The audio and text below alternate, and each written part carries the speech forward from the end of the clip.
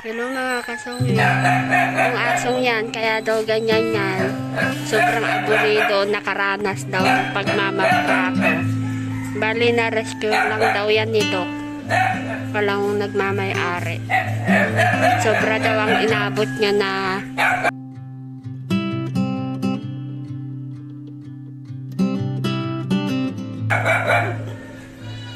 matrato sa mga kamay ng mga taong hindi makahayop.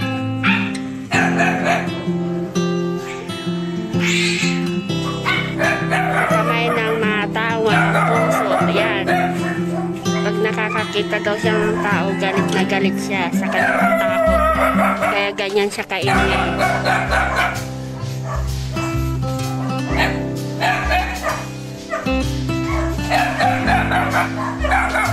Kawawa naman siya mga kasuri.